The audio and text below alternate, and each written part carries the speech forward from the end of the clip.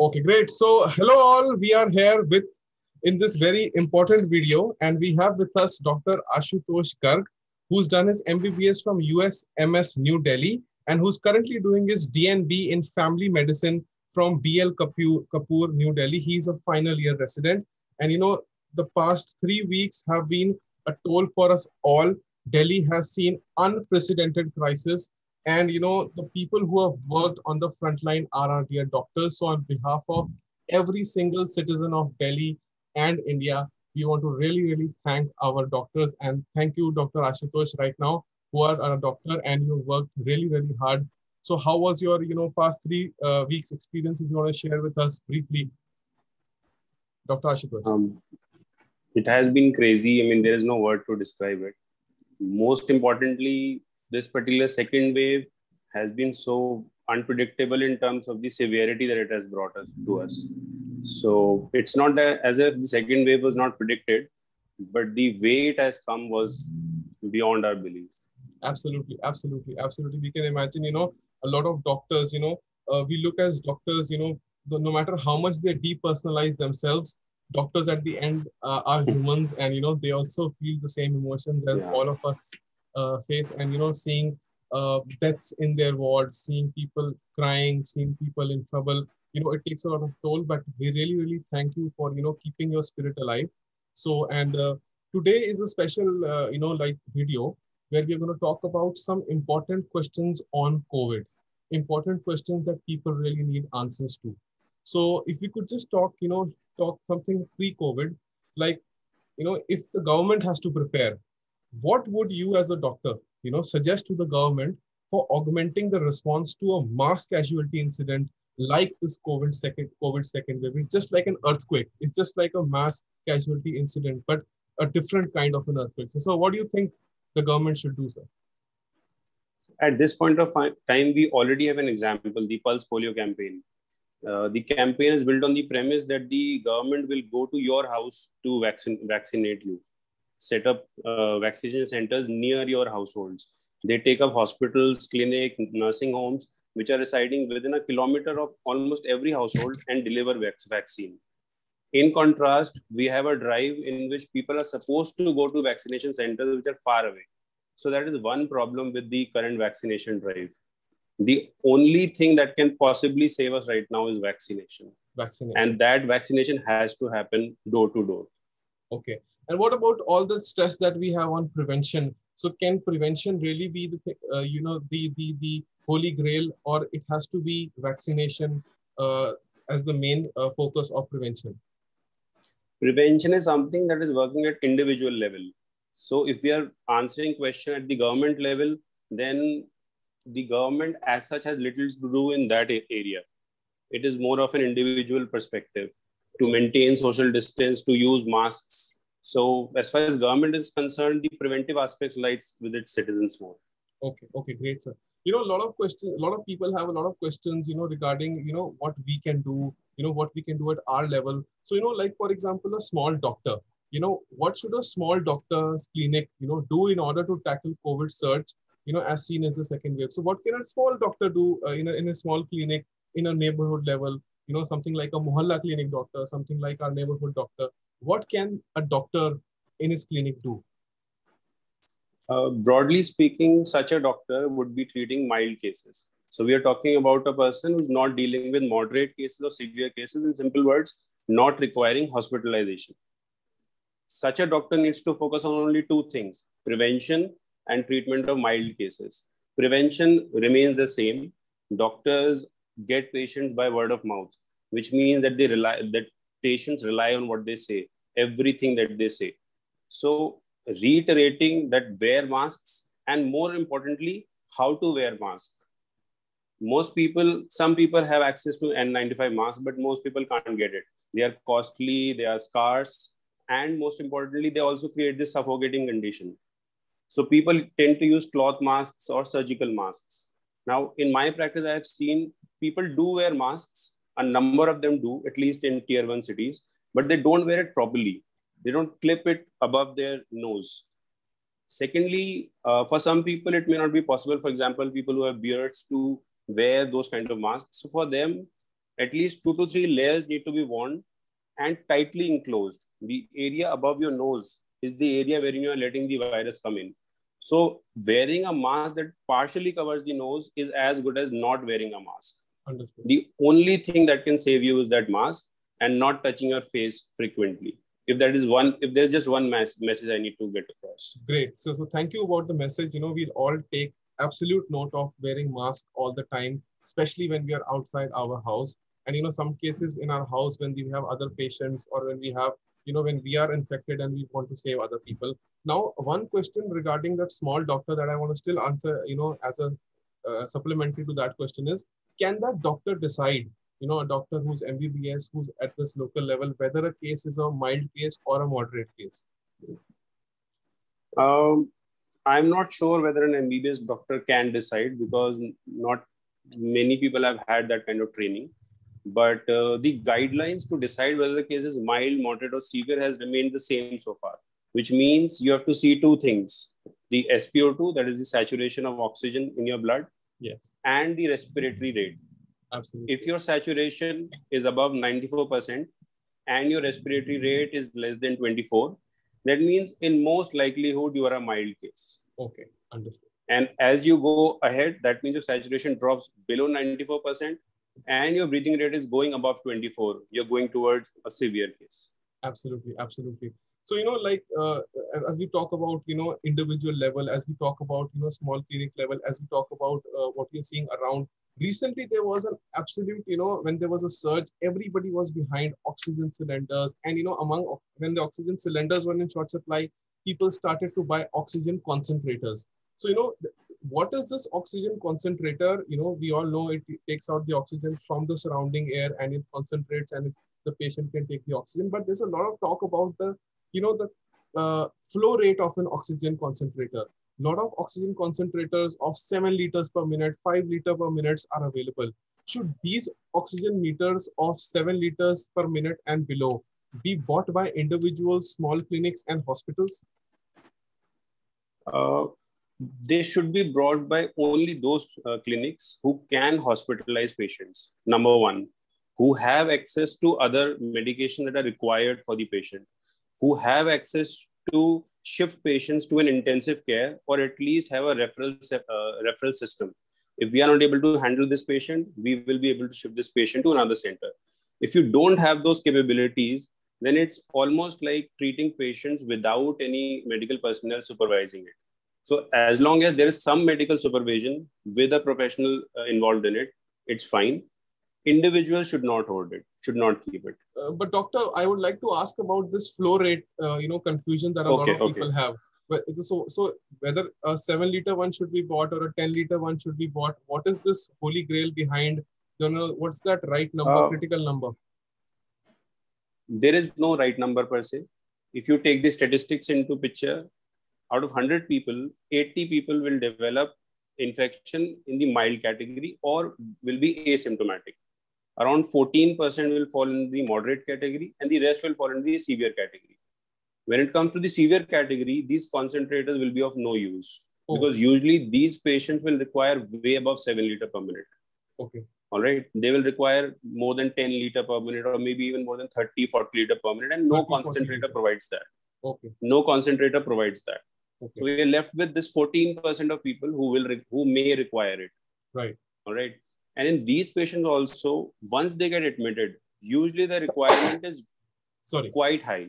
Yes. So without having access to some kind of oxygen supply, which is higher than 10, much higher than 10, just relying on these concentrators wouldn't be wise. So these concentrators, which are of a lower concentration, should be only used by mild patients if the doctor suggests. Is that right? Absolutely. Mo- moderate patients, moderate not mild, patients. moderate. Moderate. Mild is defined by the fact that you don't need oxygen. That you don't need oxygen. Okay. So for moderate patients, if the doctor suggests, you should ask the doctor, and then if he suggests seven liters or yeah. five liters, and then yeah, yeah, and then it has to be titrated uh, on timely basis. It cannot be just that you give someone this much and it's over. It okay. has to be supervised. It has to be supervised. So great, great, doctor. Now the next question is, you know, there's a lot of talk about the third wave. The government has said that there's going to be a third wave coming and you know, they've also said that the children in the third wave are the most vulnerable. So, you know, and because children are not vaccinated, and you know, we have seen a lot of infections coming up in the second wave among children. So, you know, what can we do to prevent children from getting seriously ill during a third wave, which is a possibility? As far as children are concerned, there is nothing special that you can do. What you can do for any given adult will impact children as well. And the bottom line again is door to door vaccination. There is nothing else that can help. Nothing okay. else.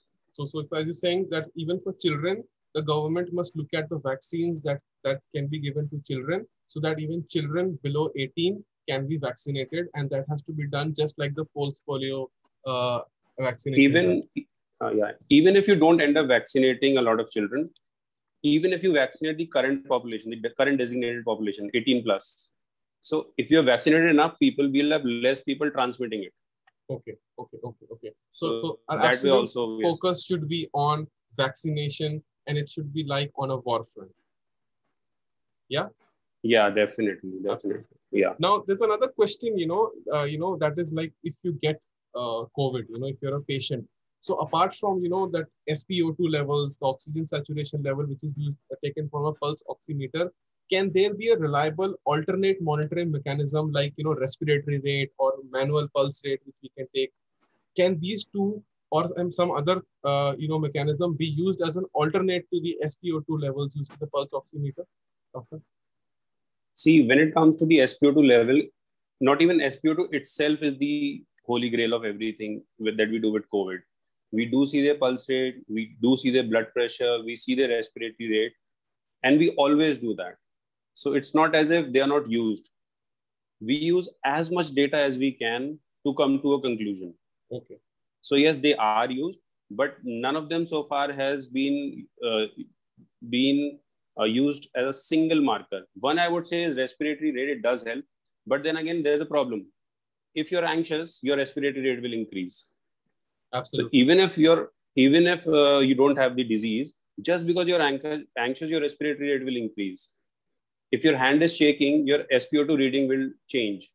So all these things have to be taken into account, which an unqualified person, I'm really unfortunate that they, we don't have a mechanism wherein by an unqualified person can say, uh, can decide.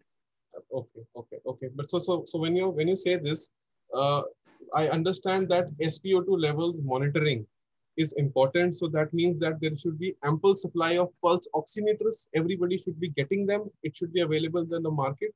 Is there any shortage that you think is there of the pulse oximeter? De- definitely, there is. It took me a week to get uh, a second pulse oximeter because I was relying on just one of them. And uh, the way we work in the ward, it's very easy to lose one, break one. So it cost me six times more than what an oximeter costs very unfortunate that right now there's so much of black marketing and overinflation of prices in everything, including oxygen concentrators, pulse meters, and everything else. So, you know, I'll go to the next question. You know, uh, is it right to panic and start administering oxygen to someone whose SpO2 level or oxygen concentration dips to 85? Or, you know, we should, you know, as WhatsApp forwards come, we should just try proning or we should just try a breathing exercise. What should we do? Should we really believe these forwards which you know suggest proning exercises or we should directly rush to the hospital and start the oxygen?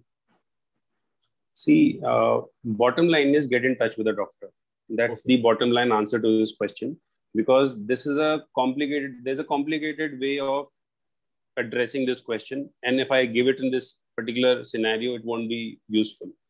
So but if i were to give a give some tips proning is beneficial yes, it is beneficial. It is beneficial for patients who have an SpO2 of less than 92%.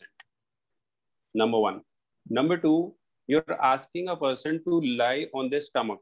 If that patient is obese, if that patient is really ill, if that patient is really old, and you're somewhere in your house in the in another room, it is possible that this patient may not be able to shout for help if something goes wrong. Okay. If you're going into the room, the patient is lying listless, you may not know if the patient is dead or okay. Okay. Understood. So those are the things that have, to, that have to be taken into consideration. The, the person should be alert. The person should be able to turn himself to the normal position on his or on own. The saturation should be seen to be improving with that position. If these three conditions are fulfilling, then yes, we can go with proning. But again, supervision by some medical professional. So Without that, please don't. So when you say supervision is important, you know, when we saw three weeks back, people were rushing to hospitals and there was no space in hospitals. And supervision as a thing was not possible. So in those cases, you know, people were suggesting that, you know, that's why oxygen langars started. People started giving oxygen on the road and everything which was an alternate mechanism to a hospital, which was which tried to be created outside of a hospital. So does that mean that we need to have augment the beds and the supervision and the staff at some level, or we should actually rely on the makeshift measures that we created? In this particular scenario, teleconsultation would be of great help. Okay. For patients who can be managed at home, because like, like I said, the question that you posed about SpO2, pulse rate, and respiratory rate, it is all about data. The more data I, have about you, the easier it is for make to me make uh, to make a conclusion that this is what you can do. So if I have teleconsultation service and you, I can talk to you, then it increases my chance to give you the best advice. Absolutely, absolutely, absolutely. With that, you know, we'll go to the next question. So in the absence, so it's very related, in the absence of oxygen, can an ambu bag be used by in the transient period by unqualified attendants? You know, there was a lot of conversation about ambu bag. In the initial first, you know, wave, people actually developed makeshift ventilators out of ambu bags. They made a small little mechanism where ambu bags were, you know, uh, you know, used and they were making some ventilators. So how much is the reliability of an ambu bag and can it be used by unqualified attendants? Okay, let's just review what an ambu bag is. AMBU stands for Artificial Manual Breathing Unit. Unit because it has lots of parts in it. Breathing because it is substituting for your breathing process. Artificial because it is being done from the outside. And manual because someone needs to squeeze the balloon. In normal circumstances, you need several muscles in your body to push in, push in air and push it out. Fine. So basically, they are also acting as pumps. Right. For any reason, if your own muscles aren't working, if your brain is not letting them work because of some dysfunction, or there is some dysfunction and elsewhere in your body that is not letting your brain work. So if this circuit goes haywire, you're not able to take in air and push it outside. That is when the use of ambu bag comes in. Okay. Versus oxygen. Oxygen meaning you are able to breathe, but you're not getting enough oxygen into your cells, which need it for their function because of pneumonia Fine. or because of whatever reason. Yeah, yeah, yeah. The wall that is separating the balloon in your lungs and the blood in the blood that is running, that wall has become dysfunctional for some reason. Water has got filled or whatever reason, and the oxygen is not passing. So what you do is you increase the level of oxygen, and that is what we do when we give oxygen. Okay. And ambu bag doesn't do that. Okay. It marginally increases that amount. So what ambu bag does is it helps you in transporting the patient from their home to a hospital. Okay. So it's only an emergency measure. Secondly, acutely used for minutes and hours, and that is used in hospitals all around when you don't have ventilators, especially in government hospitals. Till that time, it is fine. And since there are no medical personnel doing it, the attendants are asked to do it. But it is a work of a qualified physician. It is a work of a qualified paramedic. So no, I cannot say that an unqualified person should be asked to do it unless and until they have been trained enough, unless and until you don't have resources. That is the only situation in which uh, the attendants would be asked to uh, use an ambu bag. So it's, it's no alternative for oxygen. It is just a emergency transient option for a ventilator only so that the person can be transported. And that's only when yes. his muscles inside are not letting, you know, the diaphragm and the other muscles are not enabling him to breathe. But it is definitely yes. not a uh, alternate for oxygen supply to the patient. Thank you so much for that. Now, no. another question is, what are the kinds of patients who require ICU care? Can ICU care in any subtle way harm a patient if he doesn't need it? So two very different questions. Uh, the answer to the first question is, like I said, you divide the case into mild, moderate, and severe. We know that the mild do not require admission, moderate can be managed in wards, and the severe cases are those which have a saturation of less than 90%, number one, which have a respiratory rate of more than 30 per minute. Plus, now here are the main things. People who are old, they, they have bad reserve. People who are obese, people who are diabetic, people who have heart disease, people who have liver disease and kidney disease. So if you have to count on your tips, who are the patients who might end up in ICU? These are those people who have a saturation of less than 90%, respiratory rate of more than 30 per minute, are obese, diabetic, heart disease, liver disease, kidney disease, or are on any immunosuppressive drugs like steroids. These are the patients who are very much likely to require an ICU. But because of shortage, a number of these patients are being managed in wards nowadays. Understood. Understood. Now, now there's a question, you know, which is, you know, for all mild patients, you know, who have recovered from COVID, including myself. Uh, for people who have recovered from mild infection, what is their path to full recovery? Because I'm sure COVID leaves some form of a, you know, post-COVID complication in most people. So what is the path of full recovery? Like I said, eight, 70 to 80% of patients are going to be either asymptomatic or mild. Uh, this might sound a little uh, insensitive, but from a scientific perspective, these are the people who are going to be the candidates for novel treatments in future because these are the patients who did not get disease meaning did not get manifestation of moderate disease or severe disease which means either they developed an immune mechanism that was able to fight the virus or innately they were immune to it. So basically these people hold key to novel treatments in future. Not so new maybe just next year. As far as recovery is concerned it's not too bad for these people to have gotten this infection because like i said they are the repositories for novel treatments. So it's not as if they are they have any uh, leftover effect that we should be worried about. If at all there is we are not aware of it right now understood great great great now you know there's a final question that i want to ask you and i'm going to leave in, in a very good note because you have told us a lot of information which a lot of viewers are going to churn and you know understand mm. there's one question which is you know like the question of hope if there is one thing that you would love to see happening, what would it be? As a doctor, as a person who has worked in a COVID ward for 24, 24 hour shifts, what is this one thing that you would love to see happening? Too many things I need, I guess. Please, so, please take all the time is yours. Uh, I'll come to the most basic things. The one thing that I would really want people to do is wear their mask properly. That is the one thing that you can really save people with. Because I I have seen people wear masks. It's not as if they don't. It is just that they don't wear it properly. It's so disheartening to see it. Even doctors, mind you. Doctors wearing N95 masks but not clipping it properly. If you can just do that, you at individual level are so busy as a doctor, as a patient, as a healthcare worker, as a frontline worker, you may not be able to take the work of the government. But at your level, if you can just wear your mask properly, if I can see that happening, I believe at individual level, we have taken a good step. Great. So, so our first step, first lesson is that you want to see happening is that everywhere, everybody wears their mask properly all the time whenever they are outside and whenever they are in a group of people, even within their households. Anything else, doctor? You know, we want to, we request you to put our heart out because this may be reaching a lot of people. Okay. Uh, I'll try to give solutions rather than very uh, rhetorical answers in this sense. I have seen people hoarding medications, you know, medications as simple as paracetamol and azithromycin. My request is instead it, it is wise to have medications at home actually at this point of time but it is better to have to hoard those medications in groups.